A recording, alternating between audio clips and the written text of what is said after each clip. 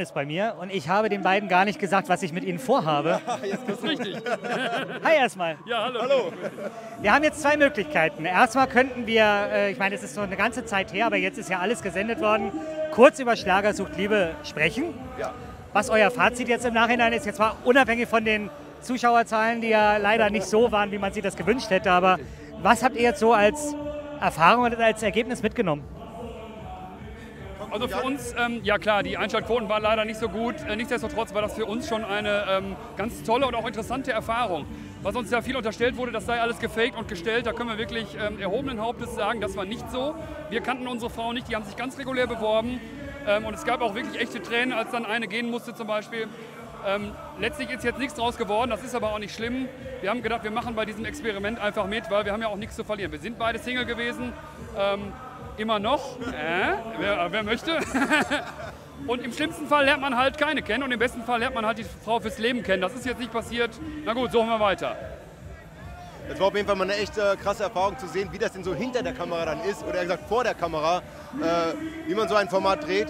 Es war halt tatsächlich alles, alles echt und nichts gestellt. Man muss natürlich die eine oder andere Szene mal äh, zweimal drehen, so keine Ahnung, äh, Tür aufmachen muss man von innen und von außen einmal äh, drehen. Aber jede Emotion, die da gezeigt wurde, war einfach immer komplett echt. Das war immer der, der erste Take, der dann auch genommen wurde, weil alles andere ging, ging auch gar nicht. Ihr habt ja gerade beide gesagt, ihr seid weiterhin Single. Ist denn trotzdem Kontakt erhalten geblieben? Hat man immer noch irgendwo Kontakt zu den Frauen?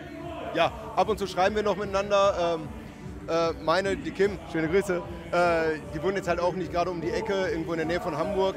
Da kommt man nicht eben kurz so hin. Aber äh, wir schreiben ab und zu und sind so immer noch in Kontakt. Bei dir auch. Ja, bei mir ist es so, ich habe äh, zu Kon äh, Natascha noch Kontakt, schöne Grüße.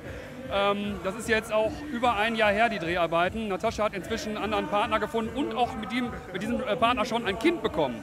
Also äh, der Marlon, äh, ganz, ganz süßer kleiner Fratz. Äh, beste Grüße auch an die, äh, an die neue und junge Familie. Alles Gute euch, ne?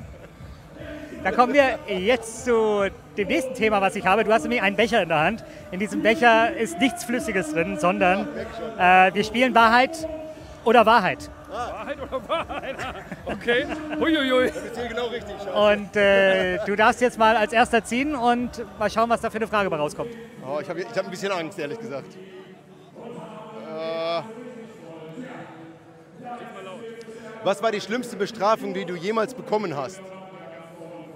Boah, die schlimmste Bestrafung? Jetzt muss ich mal ganz kurz überlegen. Irgendwelche, äh, die schlimmste Bestrafung. Ehrlich gesagt, so, wirklich was richtig Schlimmes. Das wird jetzt gar nicht so spektakulär. Äh, ich glaube, das war. Es gibt ja so, ein, so einen kleinen Schnaps, der heißt Krabbel die Wandenuff. Und Wie heißt der? der heißt Krabbel die Wandenuff, weil genauso schmeckt er auch. Also, da möchtest du die Wand hochkrabbeln. Also, Krabbel die Wand, der, der ist so unfassbar schrecklich. Ähm, den musste ich einmal trinken und das. Also wer den trinken möchte, das ist eine gute Mutprobe für andere Leute. Kann ich euch nur empfehlen, ansonsten ist er wirklich schrecklich. Das.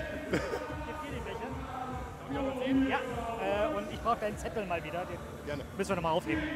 Was hältst du für deine beste Eigenschaft und was ist die schlechteste? Oh, jetzt muss ich mich erstmal selber loben. Meine beste Eigenschaft? Eieiei. Äh, ich würde sagen, ich bin doch ein sehr ehrlicher und loyaler Typ. Freundlich, gut aussehend. Äh, das sind ja schon ganz viele Eigenschaften. Die beste. Ach so, die beste. Ich glaube Loyalität, würde ich sagen. Ich mag keine Ungerechtigkeit und versuche auch danach zu leben. Bin immer jedem äh, ehrlich gegenüber und das, ich finde, das gehört sich einfach so. Die schlechteste Eigenschaft ist, ähm, ich schwitze wie ein Schwein auf der Bühne. ist aber keine Eigenschaft. Ich würde sagen, dass ich so unglaublich ungeduldig bin. Ich bin, ich bin ein unfassbar ungeduldiger Typ. Äh, wenn einer das nicht beim ersten, zweiten Mal kann, beim dritten Mal flippe ich schon aus. Das ist ganz furchtbar. Ich entschuldige mich bei allen, die ich immer so anfahre. Ich äh, versuche mich zu bessern. Entschuldigung, Tom. Ich, äh, ich grätsch mal im rein, er ist auch ein kleiner Monk. Ne? Wenn nicht alles so schön gerade ist, wenn das Besteck irgendwie falsch einsortiert wird in die äh, Spülmaschine rein, das ist schon falsch. Ist das der Grund, dass, äh, warum du noch Single bist? Ja, weiß ich nicht. Vielleicht, ja. Ja. Womöglich. Also eine Frau, die mich kennenlernen möchte, die muss schon damit irgendwie klarkommen. Es muss alles beim ersten Mal klappen und du musst die Spülmaschine richtig einräumen können. Wollen wir noch eine Frage machen? Ja, klar, wieso nicht? Soll ich mal machen, ja? Komm her, die, das lacht mich schon so an. Was machst du heimlich vor dem Spiegel, wenn keiner zuschaut? Äh, dann werden zum Beispiel die Nasenhaare geschnitten, äh, an den Zähnen rumgepult, ganz schlimm. Und ähm, Das eine oder andere Mal habe ich tatsächlich sogar schon mal so eine Augenbraue da äh, versucht gerade zu zupfen. Ähm, ja, habe ich schon länger nicht mehr gemacht. ja, das war der eine Versuch, wo ich es mal gemacht habe. Das war äh, ziemlich, ist ziemlich in die Hose gegangen. Sowas in der Art. Aber man sagt ja auch äh, gerade Männern nach, die würden vor dem Spiegel stehen und dann posen und äh, ist nicht so. Das Gute ist, wir sind beide, sagt man uns nicht nach, aber wir sind relativ uneitel. Natürlich guckst du, bevor du irgendwo hingehst, erstmal in den Spiegel so, dass die Haare einigermaßen sitzen, aber mein Gott, äh, also wir schminken uns jetzt zum Beispiel nicht oder so, was viele Kollegen machen, würde mir nie in den Sinn kommen. Außerdem wäre das auch überhaupt völlig sinnlos, weil ich schwitze eh auf der Bühne so. Das würde total. Der Mascara, alles verläuft, Gottes Willen. Nein, wir sind völlig uneitel. Also, jetzt mal äh, eine Zeit lang, ich gehe jetzt regelmäßig ins Fitnessstudio und da habe ich tatsächlich mal eine, eine Zeit lang geguckt, ändert sich nichts, macht also nichts, also habe ich aufgehört damit. so, eine darfst du noch ziehen Okay, und ja, dann ja. haben wir es. ja, ich freue mich. Was findest du an dir besonders schön? Das sind aber Fragen heute. Ich habe das nicht, Was hast du da genau? ich habe das nicht so sortiert. Was finde ich an mir besonders schön? Also zum Beispiel mein Whirlpool zu Hause.